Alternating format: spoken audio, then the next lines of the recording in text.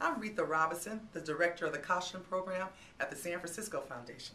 I am so excited to introduce Gonzalo Rucobo, the co-founder and executive director of Bay Area Peacekeepers. He is our honoree for the 2011 Community Leadership Awards, and we would love for you to join us at that event. Let me tell you a little bit about Gonzalo.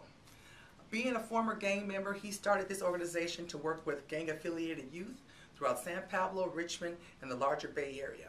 And the exciting thing that he does is he brings the youth on as mentors and staff, and they work with other youth.